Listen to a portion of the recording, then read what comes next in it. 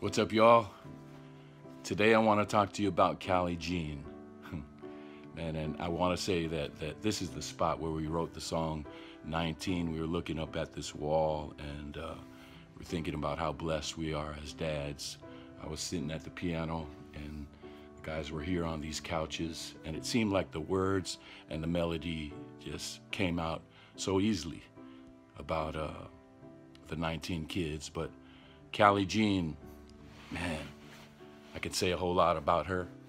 Um, one of the main themes that uh, we talk about when we're out on the road is loving God and loving people, something that mom and dad taught us about when we were kids. But uh, Kallie does this with so much grace.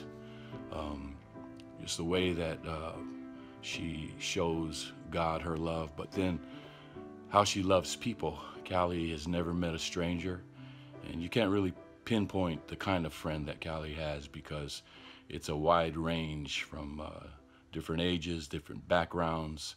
Kallie is a true friend. She's loyal, and um, man, she's she's she has uh, wisdom. Um, I know that because she's helped me as a dad. And uh, again, there's so much that we can say about uh, that I could say about Kallie, Caitlin, Shauna, and Courtney. Uh, but I hope you've been enjoying these videos, um, just these short clips of. Uh, I mean, it would take us all, all day, all night, all week to really get into uh, how each of them have blessed Kathy and I. But um, Kallie Jean, I want to tell you that I love you. I'm so proud of you.